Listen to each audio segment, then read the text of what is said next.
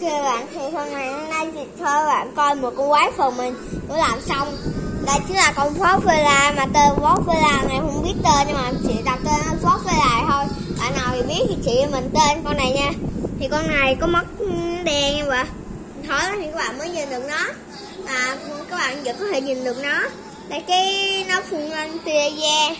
Mà thật ra nó phun hết xuống mặt đất trước rồi.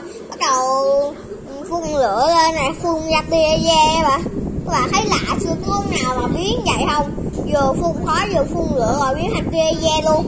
Cả mấy gai này nè, nếu nó làm mấy cái gai này ừ, tung lên mấy tia da thì nó sẽ cứa đất mấy hát ừ, nhưng mà con này cũng có cách để với nó dùng. Những cái tàn nhà hụng hụng rồi bạn đè nó cho chết.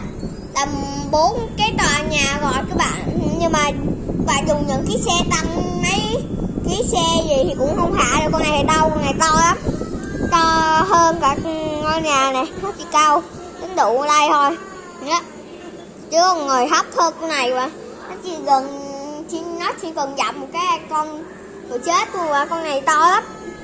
Và cái đuôi, cả cái đuôi của con này cũng có thể phun ra tia da. Thì con này Ừ, phun ra thì tại vì con này có thêm một cái miệng nỏ mà, có thể phun ra lửa ấy.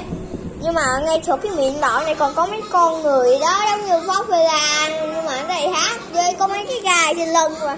Đó. Ừ, ừ, con đến khi con này to thì con này nhỏ bằng con người ấy mà ờ, nó bị đông cứng hết rồi trước khi. Đó là bị đông đá rồi thì mấy con này sẽ bắt đầu khóa hóa rồi bắt đầu lớn lên, nhưng mà sự tiến hóa con này, con đến con này con cấp 3 rồi, thì sẽ nói là nghe.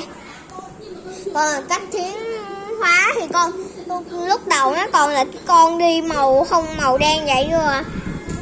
nó vừa đi vừa hai chân mà nó to mà. Vừa có cái tay này nhưng mà không có ngón tay sắc nhọn luôn mà. Nhưng rồi sau đó nó thành con phó phê la, cấp 2 mà.